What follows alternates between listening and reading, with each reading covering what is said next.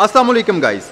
आज की वीडियो में मैं आप लोगों को एक बीस्ट दिखाऊँगा जो कि आपके सामने इस वक्त स्क्रीन पर मौजूद है। और ये गाड़ी है Jeep Wrangler 2012 model V6 petrol engine के साथ और ऑटोमेटिक ट्रांसमिशन के साथ। ये लॉन्ग व्हील बेस वाली गाड़ी है जो कि, जिसमें आप समझ लीजिए कि फोर डोर होते हैं। आमतौर पर इसमें टू डोर आती है बट ये फोर डोर वाला वेरिएंट है इसका। और आज की वीडियो में हम इस गाड़ी के बारे में तफसील से बात करेंगे। कलर इस गाड़ी का बहुत ही मज़े का है जी। आपको दिखने में ब्लैक लग रहा होगा, बट ये एक डार्क ग्रीन सा कलर है, बहुत ही ज़बरदस्त किस्म का कलर है। और आज की वीडियो में हम इस गाड़ी के बारे में कंप्लीट इन्फॉर्मेशन आपको देंगे। आपको इसका इंटीरियर दिखाया जाएगा, एक्सटीरियर दिखाया जाएगा, स्पेक्स और फीचर्स के बारे में बात करेंगे। अब मैं आपको बताता चलूँ कि ये गाड़ी फॉर सेल है। अगर आपको एक बेहतरीन, शानदार कंडीशन में 2012 मॉडल जीप रेंगुलर ख़रीदनी है तो ये गाड़ी इस वक्त यहाँ सैगल मोटर्स रावलपिंडी पर अवेलेबल है। तफसीत के लिए आप सैगल मोटर की वेबसाइट www.cyclemotor.com पर विज़िट करें या आप स्क्रीन पर दिए गए नंबर्स पर कॉल कर सकते हैं। फ्रंट व्यू तो आपने इस गाड़ी का देख लिया। अब चलें ज़रा गाड़ी की बैक साइड पर चलते हैं और आपको इस गाड़ी का रियर व्यू दिखाते हैं। तो जी रियर साइड से भी आप इस गाड़ी का व्यू देख लीजिए। स्पेयर टायर यहाँ बैक साइड पर लगा है और ये ड्यूल एग्जॉस्ट सेटअप आप इस गाड़ी का देख सकते हैं, जो कि बैक साइड से बहुत ही कूल लगता है, बहुत ही खूबसूरत लगता है। एक चीज़ और मैं आपको बताता चलूँ कि इस गाड़ी की सबसे ख़ास बात वो ये कि ये गाड़ी बेसिकली आपको हार्ड टॉप नज़र आ रही होगी लेकिन ये कन्वर्टेबल होती है। अगर आप इसका ये पूरा ऊपर वाला हार्ड टॉप रिमूव करना चाहते हैं तो ये गाड़ी कन्वर्ट भी हो जाती है बड़ी ही आसानी के साथ। चलें ज़रा जल्दी से आपको इस गाड़ी का इंटीरियर भी दिखाते हैं और फिर तफसील से हम इस गाड़ी के बारे में बात करते हैं। तो गाइस चलिए ज़रा जीप रेंगुलर 2012 मॉडल के इंटीरियर पर एक क्विक सी नज़र डालते हैं। सबसे पहले तो आपको इसका ये ड्राइवर वाली साइड वाला पोर्शन मैं दिखा देता हूँ। सो so, ये है जी इसकी स्टीयरिंग व्हील वगैरह की लुक और इसकी आप ड्राइवर सीट भी देख सकते हैं। गाड़ी वैसे 100 परसेंट ओके कंडीशन में है, बेहतरीन, नीट एंड क्लीन गाड़ी है और सीट्स वगैरह परफेक्टली नीट एंड क्लीन है जैसा कि आपको वीडियो के अंदर नज़र आ रहा होगा। और ये है जी इसका बूट वाला एरिया। अच्छा इसके ऊपर अगर आप सॉफ्ट टॉप लगाना चाहते हैं तो उसके लिए ये आपको ऊपर रोल बार्स वगैरह दिए गए हैं। तो अगर आप सॉफ्ट टॉप इसके ऊपर अप्लाई करना चाहते हैं, उसकी कैपेबिलिटी भी इस गाड़ी के अंदर होती है। बट अभी फ़िलहाल इस गाड़ी को हार्ड टॉप लगा हुआ है। अगर आप इसको कन्वर्ट करना चाहें सॉफ्ट टॉप में तो वो भी आप कर सकते हैं। अच्छा गाइस तो ये है इस गाड़ी का 3.6 लीटर V6 पेट्रोल इंजन जो कि 280 हॉर्स पावर प्रोड्यूस करता है। और ये इंजन एक 5 स्पीड ऑटोमेटिक ट्रांसमिशन के साथ कंबाइन किया गया है। अब इससे पहले कि गाड़ी के बारे में डिटेल से बात करें, मैंने सोचा आपको इस गाड़ी का इंजन बे भी दिखा देते हैं। तो इंजन बे गाड़ी का नहायत ही नीट एंड क्लीन है और इसकी अभी आप लुक देख सकते हैं। मुझे तो ये गाड़ी बहुत ही पसंद आई है, बहुत ही कोई मॉन्स्टर किस्म की गाड़ी है। आप इसके बारे में क्या सोच रहे हैं? कमेंट सेक्शन में अपनी राय से ज़रूर आगाह करें। ओके गाइस तो चलिए अब डिटेल में बात करते हैं और सबसे पहले तो हम गाड़ी के हेडलैम्प से स्टार्ट करते हैं। यहाँ पर अगर आप इस गाड़ी की हेडलाइट्स देखें तो इसके अंदर आपको प्रोजेक्टर लाइट्स दी गई हैं और लो बीम और हाई बीम दोनों ही के लिए आपको एलईडी प्रोजेक्टर लैंप्स दिए गए हैं। साथ ही डी का ऑप्शन भी इसके अंदर एलईडी एलईडी में ही आता है। एंग्री बर्ड स्टाइल की ये बहुत ही खूबसूरत एक लुक इसको फ्रंट साइड से प्रोवाइड कर रही है। उसके अलावा इसका जो फ्रंट क्रैश गार्ड आप देख रहे हैं, ये इंतहाई कोई मैसिव किस्म का है।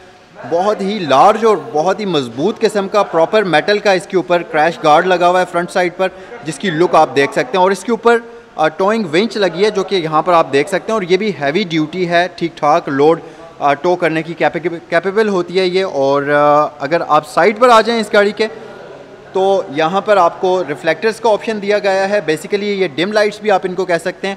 और बहुत ही ज़बरदस्त और बहुत ही मैसिव किस्म के फेंडर फ्लेयर्स हैं और ये गाड़ी बेसिकली लिफ्ट की गई है, जैसा कि आप देख ही सकते हैं।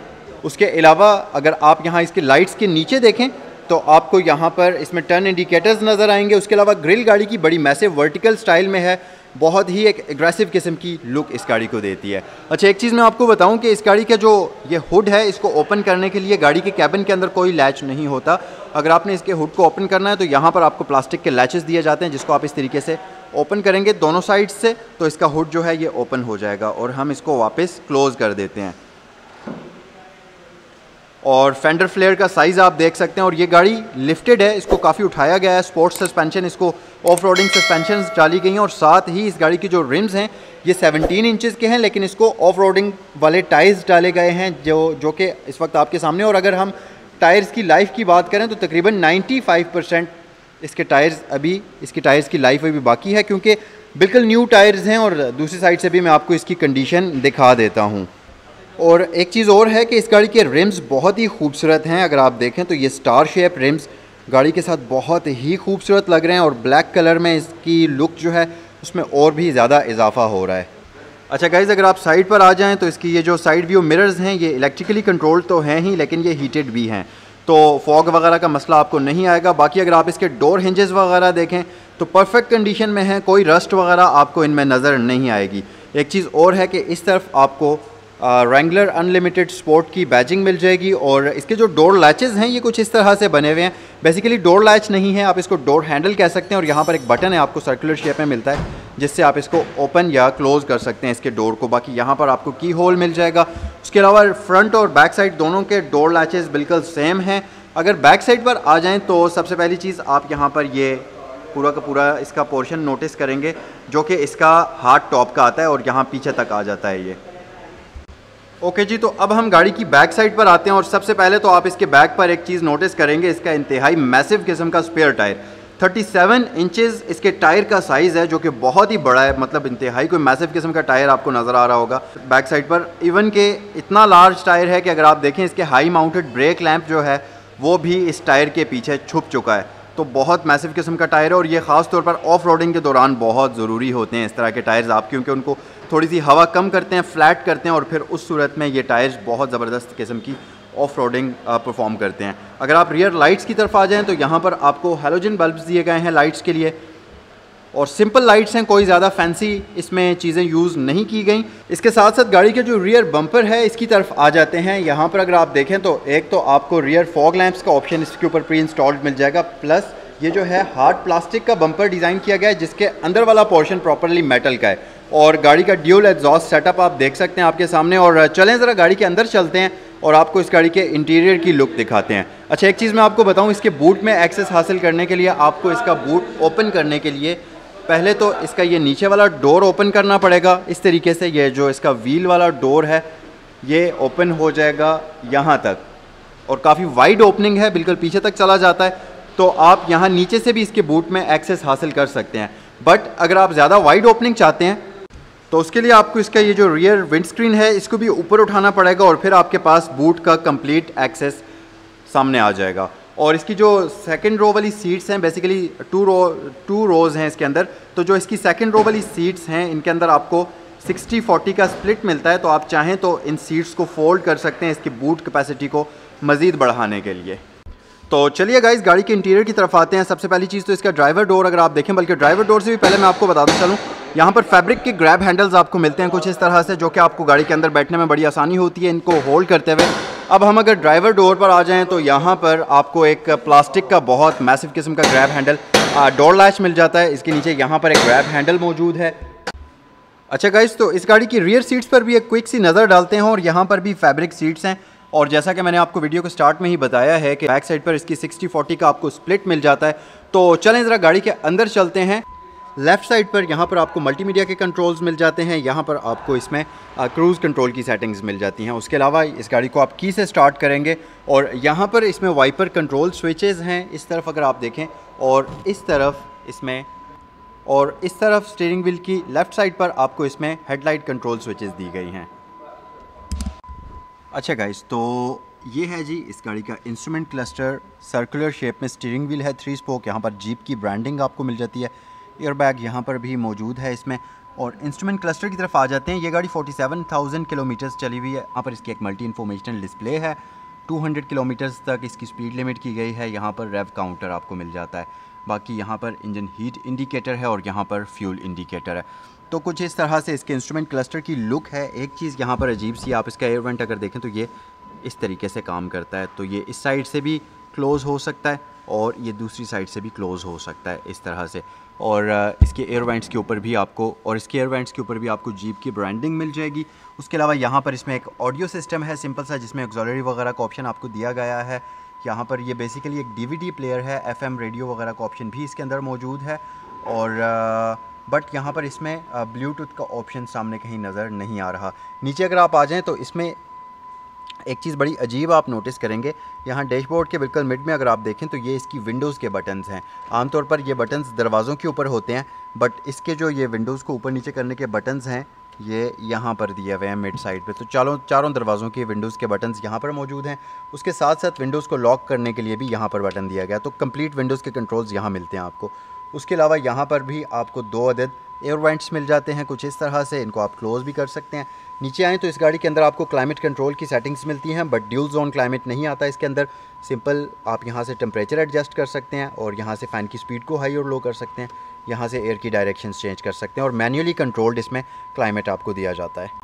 और इसके जो एसी वगैरह के कंट्रोल्स हैं, ये तमाम मैनुअल हैं। उसके नीचे अगर आप देखें तो यहाँ ट्रैक्शन कंट्रोल है डाउन हिल असिस्ट है, उसके अलावा हेडलाइट स्विच है और इसके जो हेडलाइट्स हैं, उसकी बीम को आप यहाँ से एडजस्ट कर सकते हैं, यानी कि एडजस्टेबल लैम्प्स इसमें आपको दिए जाते हैं। उसके अलावा यहाँ पर इसके साइड व्यू मिरर्स के कंट्रोल्स हैं। वैसे इसके तमाम तर कंट्रोल्स डिफरेंट जगहों पर हैं, जैसे कि विंडोज़ के यहाँ पर हैं साइड व्यू मिरर्स के आमतौर पर यहाँ होते हैं बट या दरवाज़ों पर होते हैं बट इसके यहाँ पर दिए गए हैं। उसके अलावा अगर आप नीचे देखें तो इसमें यहाँ पर आपको एक नेट पॉकेट मिल जाता है। ये यहाँ पर इसमें four wheel drive control unit है, फाइव स्पीड ऑटोमेटिक ट्रांसमिशन है तो चलें ज़रा गाड़ी को स्टार्ट भी कर लेते हैं हम जल्दी से। इस गाड़ी के अंदर आपको एक फाइव स्पीड ऑटोमेटिक ट्रांसमिशन मिलती है और ये ट्रिपट्रॉनिक है, आप इसको मैन्युअली भी कंट्रोल कर सकते हैं, इस तरीके से अपवर्ड और डाउनवर्ड डाउनवर्ड शिफ्टिंग कर सकते हैं और साथ ही यहाँ से आप इसको डी पर भी रख सकते हैं, वो आपकी अपनी चॉइस है। अच्छा वापस इसको हम पार्क पर शिफ्ट करते हैं, यहाँ पर काफ़ी लार्ज साइज़ के दो स्टोरेज कंपार्टमेंट्स हैं, हैंड ब्रेक इसमें। मैनुअल आती है और उसके अलावा यहाँ पर एक आर्म रेस्ट है जो कि लॉकेबल है और नीचे आपको इसमें स्टोरेज कंपार्टमेंट मिल जाता है, जिसके अंदर भी 12 वोल्ट का पावर सॉकेट आपको दिया गया है इस जगह पर। अच्छा जी डैशबोर्ड इसका बड़ा सिंपल सा है। ब्लैक थीम है कंप्लीट डैशबोर्ड की। यहाँ पर आपको एक अदद स्टोरेज कंपार्टमेंट सा मिल जाता है। आप कोई ना कोई चीज़ यहाँ पर रखना चाहें तो रख सकते हैं। इसके अलावा एक ग्रैब हैंडल है, इसके ऊपर सिंस नाइनटीन 41 लिखा हुआ है और वहाँ पर आपको जीप की ब्रांडिंग मिल जाएगी। एयरबैग मौजूद है एयरवेंट मौजूद है। उसके अलावा एक यहाँ पर एक अदद ग्लव कंपार्टमेंट है और स्पीकर ग्रिल आपको वहाँ पर मिल जाएगी। एक बड़ी ही कूल चीज़ है, इसके रूफ़ के ऊपर भी आपको स्पीकर्स मिलते हैं। यहाँ पर अगर आप देखें तो स्पीकर आपको ग्रिल दी गई है और ये दोनों ही साइड्स पर है, इस तरफ़ भी और उस तरफ़ भी। उसके अलावा यहाँ पर दो अदद कैबिन लैम्प्स हैं, जो कि हेलोजन बल्ब के अंदर आते हैं। और अगर आप रूफ़ पर आ जाएँ तो दोनों साइड के सन शेड्स जो हैं, उनके ऊपर आपको मिरर्स दिए गए हैं। और ये शीशा जो है इसमें ऑटो डिमिंग मौजूद नहीं है। बाकी जैसा कि मैंने आपको बताया है कि इसका रूफ़ रिमूवेबल है, ये ऊपर से पूरा टॉप हट जाता है तो इसको इस तरह से इसमें क्लिप्स दिए गए हैं जिनको आप ओपन कर सकते हैं और इसका पूरा का पूरा रूफ़ जो है ये रिमूव हो सकता है। तो आप इसमें गर्मियों के दौरान बड़ी ज़बरदस्त किस्म की ओपन राइड इससे हासिल कर सकते हैं कंप्लीट रूफ़ हट जाता है। एक और चीज़ कि इसके जो रोल बार्स हैं जो कि यहाँ पर लगे हुए हैं, ये कम्प्लीटली पैडेड हैं, बहुत ही ज़बरदस्त तरीके से इसके ऊपर पैडिंग की गई है कम्प्लीटली तो अगर आप ऑफ़ ड्राइव करते हैं तो उसमें आपको कोई भी इससे ख़तरा नहीं है कि इंटीरियर के अंदर बैठते हुए आप किसी चीज़ से आप ज़ख्मी होने का आपको कोई भी इसमें ख़तरा नहीं है। अच्छा गाइस तो रियर पैसेंजर्स के लिए लेग स्पेस इस गाड़ी के अंदर इतनी अच्छी नहीं है मतलब यहाँ पर टाइट स्पेस है और जो रियर पैसेंजर्स वाली विंडोज़ हैं, उनके लिए बटन्स आपको यहाँ पर दिए गए हैं। इन बटन से आप विंडोज़ को अप एंड डाउन कर सकते हैं। बाकी यहाँ पर स्टोरेज कंपार्टमेंट्स हैं, एक छोटा सा हम्प मौजूद है और रियर सीट्स इसकी फैब्रिक में हैं, बड़ी ज़बरदस्त कम्फर्टेबल किस्म की और स्प्लिट मौजूद है। यहाँ पर दो अदद हेड रेस्ट मौजूद हैं। अच्छा एक और चीज़ कि इसकी जो फ्रंट वाली दोनों सीट्स हैं, इनके ऊपर आपको एयर बैग्स का ऑप्शन भी दिया गया है। तो गाइज़ ये था आज का जीप रैंगलर 2012 मॉडल का रिव्यू कमेंट सेक्शन में बताइए कि आपको ये बीस्ट कैसा लगा। अगर आपको वीडियो पसंद आई है तो वीडियो को लाइक करें। अगर आप चैनल पर नए हैं तो चैनल को सब्सक्राइब करें।